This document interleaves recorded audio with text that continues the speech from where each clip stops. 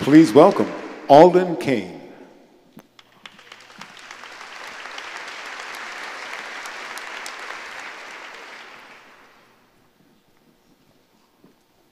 So we spent the last set. Anyone hear me? So we spent the last set looking at new ways of looking at things. And we recently met Alden, who has a completely different way of looking at education and what you can do with, with your things. So tell us about your invention. Certainly. So it uh, all got started for me when uh, University of Detroit Jesuit started a uh, new STEM inquiry and research uh, program. So this class was started by Mr. Dominic Cochiti Smith. And the goal of this class was to get all the students affiliated with the college level research program.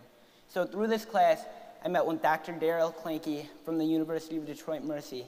Obviously, the University of Detroit Mercy and the University of Detroit Jesuit had that long-standing Jesuit bond since being jointly founded in 1877.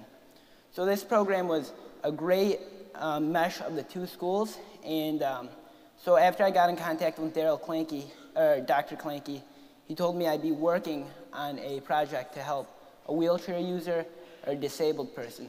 I didn't know the exact, uh, the exact project at the time, but as I was getting in contact with him, Sharina was also getting in contact with him regarding a possible method of transportation for her soon-to-be son.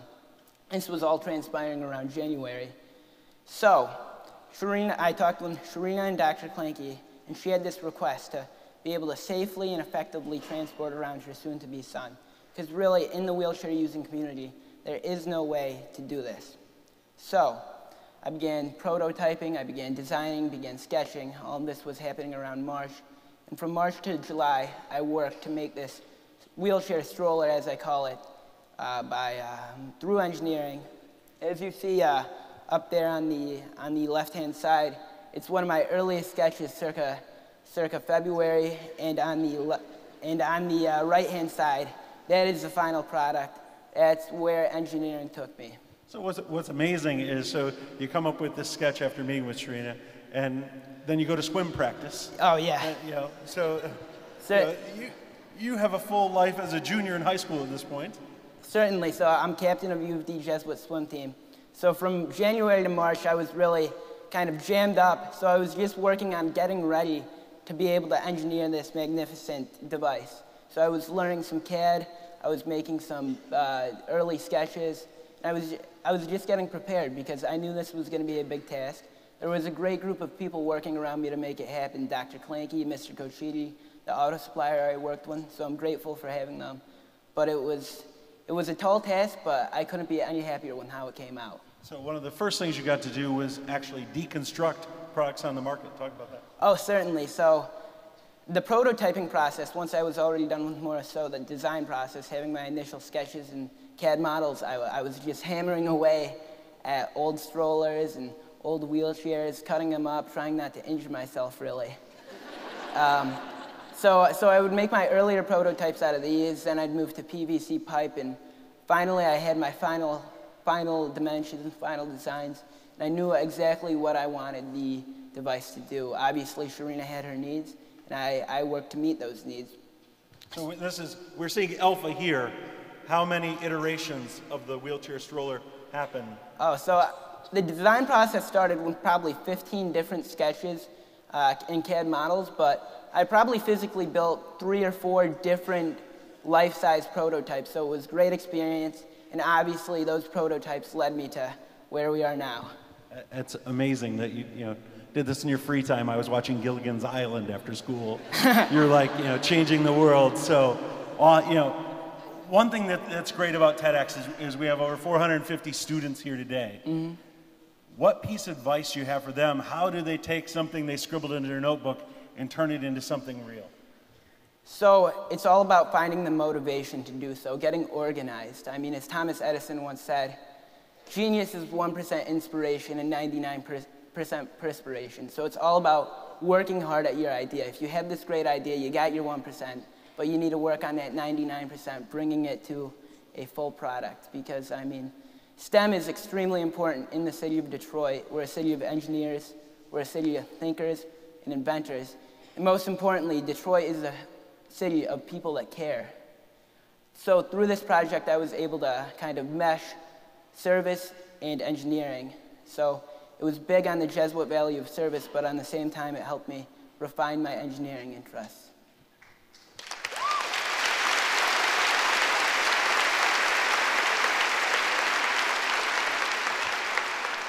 So, yeah, we can all read about science and, and manuals and, and test out CAD, but seeing it come to real life is so important. What do you say to all the educators in the audience about bringing some applied STEM classes into their schools? So applied STEM creates solutions to real-world problems, whether it be through science, technology, or engineering, such as the uh, wheelchair stroller did.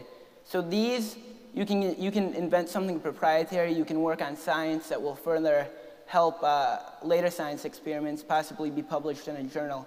So applied STEM is really important because it's one thing to do previous, uh, previ previously known science experiments, but moving on to proprietary ideas and inventions is really the future of where I see science education going for high school. Certainly, it's already reached the university level. So I, I see there's two big needs for you, first of all we need a better name than wheelchair stroller. Yeah, yeah, that, that's weak. Marketers in the audience, let's come up with some ideas. Also, how about some angel investors in the audience? How do we get this off the ground? What, what's next for you? Is this a company you want to start? Are you dropping out of school to work on this full time? Or this is the first of a million things for you? Well, I think my mom would be pretty mad after spending $50,000 on high school for me to, for me to drop out. So, so I don't think we're there yet. But uh,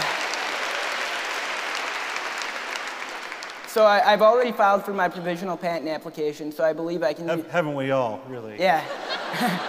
so, so I believe I can use the distinction patent pending now, so that's exciting. And certainly, I'd like to explore all the options I have on the table, whether it be licensing out to a, a Graco a, uh, or a Right and Flip, a stroller or wheelchair manufacturer, or whether it be having an angel investor come in. Certainly, that would be great business experience, and there is a huge market for this because I mean, through, through Facebook, I've been able to see so many wheelchair using parents or caretakers say, I wish they had this when I had my child, or where can I buy one of these? So it's great. So there's definitely bright things in store for the hopefully soon to be renamed wheelchair stroller. You've been watching a lot of Shark Tank, obviously, because you're already talking about licensing deals with Mr. Wonderful. yeah. So, yeah, yeah, no, Shark Tank's been a big help in this process. So uh, we have a lot of great engineering schools in town. Walsh College is a great option as well. Uh, where, where do you think uh, where do you think you're going to apply to attend? So the whole college process has kind of been put on the back burner with all this. But I mean, I have a list. I'm of, so sorry, mom. I, I, have a list of probably five schools: uh, University of Notre Dame, uh, University of Michigan, U.S. Naval, U.S. Naval Academy. Uh, Purdue, Michigan State University, Cornell. So. You're just pandering to the audience now.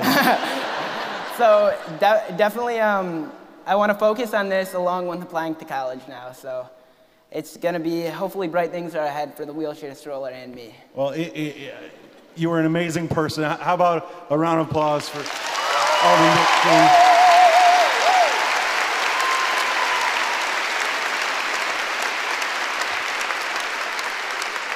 you, have inspired all of us here, but I think what's even cooler is you inspired some, uh, you're helping someone else who inspires us. Let's see the wheelchair stroller in real life. Sharina, come on out.